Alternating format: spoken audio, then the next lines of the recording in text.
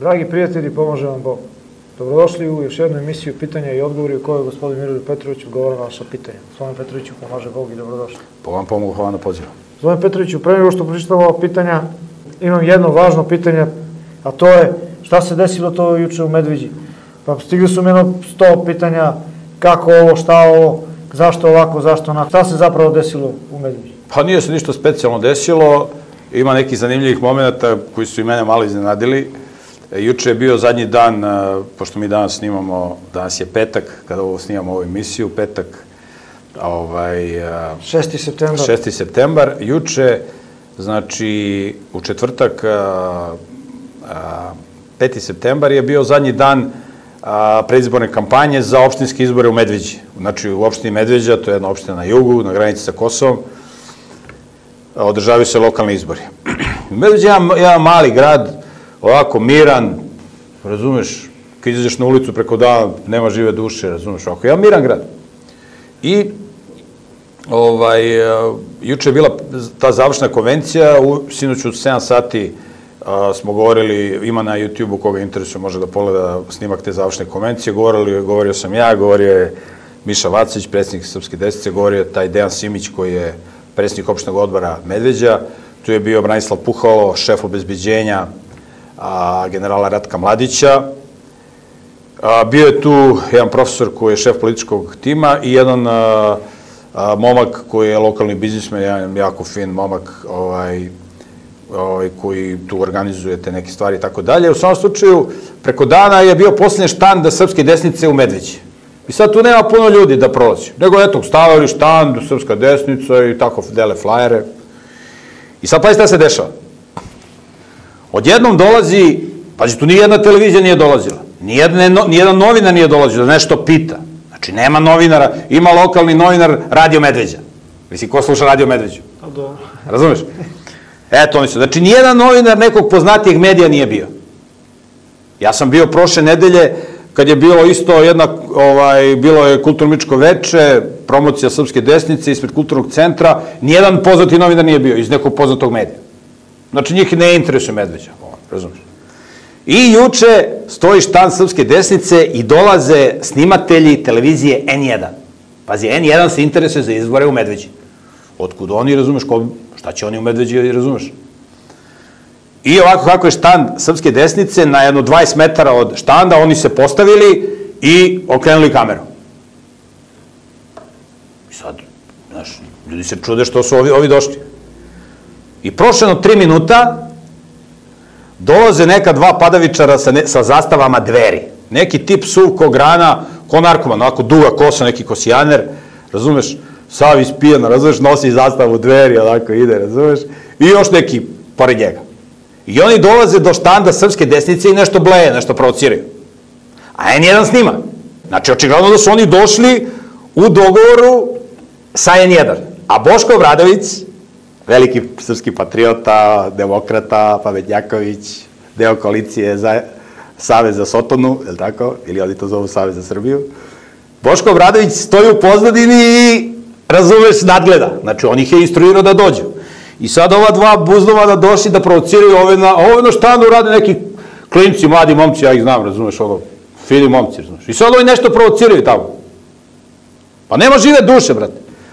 Kao oni su protiv izbora, izbori su namešteni, ba, ba, ba. I ovi ih oterali kao, aj, paljba, razumeš. A ovi iz N1 snimaju. Mislim, ništa oni tu nisu snimali. Mislim, niko nikog nije dirao, samo su rekli, ajde, tu tanji ovi se razbežali, ovi padavičari. I, ali N1 snima. I posle N1 objavio na svom sajtu kao Miša Vacić i njegovi batinaši, ne znam šta su lupali, nešto napali, nevine, uh, razumeš, nevinu decu iz dveri, podmladak dveri, ne znam šta su lupali nešto, razumeš? A Boško Obradović, ekspert, filozof, veliki patriota, u pozdini on nadgleda. Znači, pazi, dolazi Boško i, i njegovi padavičari i N1 zajedno u koaliciji, N1 snima, a Boško provocira. I Boško posle izlazi, ili vidio sam na ovom portalu Đubre Info, kaže, kaže, ovakav teror nije bio ni u Lučanima. Bili su neki izbori lokalni u Lučanima, ne znam, pre par godina, i tu je isto Boško pada u nesvest da tu su neki dolaze sa tenkovima, neki ćelavci, istetovirani, tuku narod na ulici i kaže, ako ne budeš glasao za naprednjake, ubićemo te, razumiješ? To je pričao Boško Bradić, kaže, došli sa avionima, s tenkovima, sa ovim hamerima, razumeš, ćelavci, istetovirani, dele sendviče, 100 evra svakome da gleda. Došlo neke nebulo i kaže, ovo, kaže, u Medveđi, sinoć izjavio Boško, objavio portal Đubre Info, kaže, ovo u Medveđi je gore nego u Lučanima. Pazi, ja ne znam šta je bilo u Lučanima. Ali, brate, ako ovo gore, ne, pazi, Medveđa, miran grad, ko da si došao u pustinju. A da li je istina da su kružili batinaši u Ma, Medveđi? koji bre batinači, nema žive duše, brate, u, u, u, nema žive druše u Medveđi. Nisu zastrašivali narod. Ma koga zatrašili? Pazi, pa evo ti, ovaj, a, utorak je Aleksandar Vučić bio u Medveđi. I imao konvenciju tu predizbornu u, velikoj sali Medveđi. To je valjda fiskulturna sala, nemam pojma. I pazi šta kaže Aleksandar Vučić. On proziva ovog a, predsjednika opštine a, ovaj, Medveđa, a, Arsića, Pa to je I- njegov čovjek, tako? Pa to je njegov čovjek. I on ga proziva i kaže, Arsiću, a, treba više da obilaziš sela, da vidiš šta su ljudski, šta su interesi građana ovo. Znači, naprednjak, ja nisam vidio ni jednog naprednjaka, ja sam bio sad, od kad je ova kampanja, bio sam tri puta u Medveđi. Ja nisam vidio ni jednog naprednjaka na ulici. Imaš one, izlepili su Medveđu sa onim plakatima za Medveđu, Aleksandar Vučić, ba, ba, ba i ovo. Ali ja nisam vidio ni jednog naprednjaka. Znači, grad pust. Sela niko ne, obol, ne obilazi. Jedni koji su obilazili seo, Miša Vacić i ovi Srpske desnice. Džipovi, kaže, gore nego u Lučanima, kaže ovaj Boško Polupad i Obradović. Kaže, džipovi, kaže, gore nego u Lučanima. Pazi, nema žive duše. Još dole je jedan, razumiješ? Mislim, ja ne znam kakva je patologija Boška Obradovića, mislim, stvarno sam šokiran. Ovo, mislim, ja se smejem, ali ovo je žalost. Na kakve je on niske grane pao? Moj dojučerašnji prijatelj, ja ne mogu, ne znam kako sada da, da, ga zovem prijateljem, brate, kad se tako ponaša debilski. Pazi, on, on došao zajedno sa N1 televizijom u koaliciji, ovi snimaju, ovi provociraju. Da, znači, ko, ko u inkviziciji? Kaže, bati naši gore nego u Lučanima. Ako je ovo gore nego u Lučanima, onda se stvarno u Lučanima tek tamo je bilo mirno, ništa nije bilo. Znači, prazi, vrate, mrtav grad. Nema žive duše. Jedini koji se šetaju nešto, srpska desnica stave dva štanda, tu prođe tri čoveka u dva sata. Mislim, dođeš u Medveđu pa da vidiš.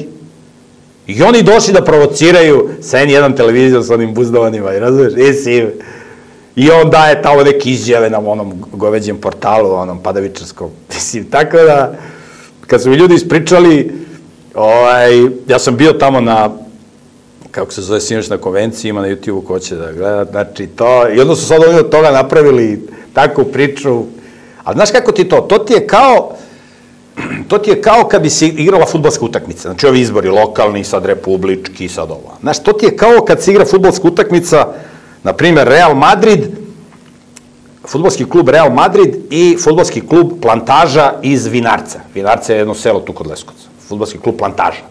Oni su 15. srpska liga. Znači ima livada, neke grede i tu igra se futbol, ali srps, 15. srpska liga. I sad treba da se igra utakmica Real Madrid i futbolski klub Plantaža Vinarce. I kažu ovi iz futbolskog kluba ovaj, Plantaža Vinarce, kaže, znaš šta, mi nećemo da igramo meč koji je zakazan sa Real Madridom, zato što su ovi potkupili sudije, zato što ovi vrše pritisak na navijače, da samo za njih navijaju, zato što ovo, zato, razumeš?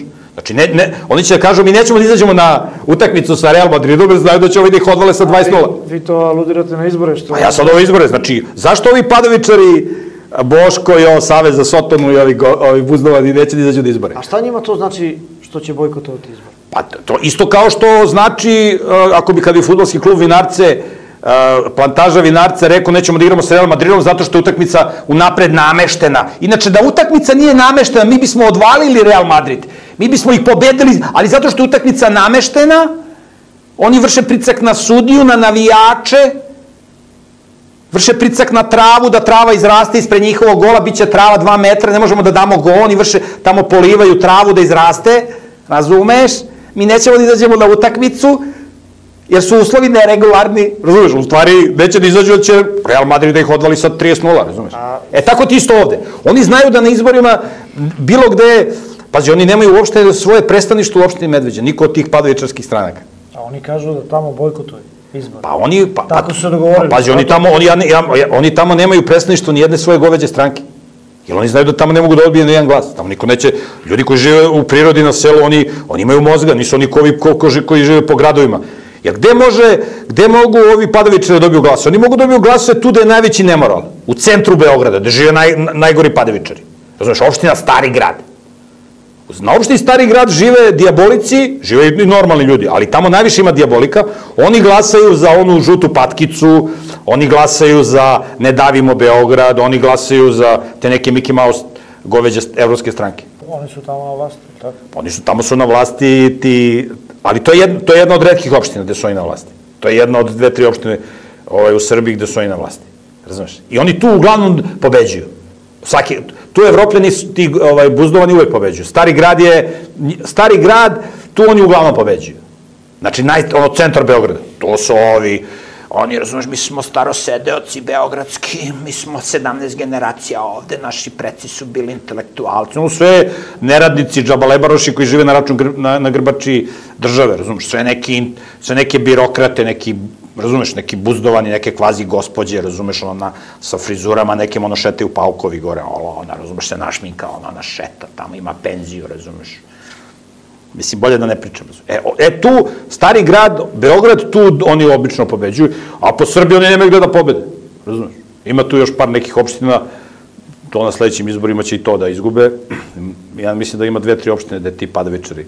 Ali, ali ovo je bilo juče simptomatično da u jednom mrtvom gradu, znači gde nemaš ljude na ulici, brate, Došao N1 da snima, a Boško Obradović poslao dvojicu diabolika da provociraju neke klince tamo sa majicom srpska desnica, razumeš? I onda kaže, džipovi, bati, naši helikopteri, tenkovi došli da tuku narod, ako ne budeš glasao za naprednjake, odvalit ćemo te dele sendviče, razumeš, po 20 evra da izađu.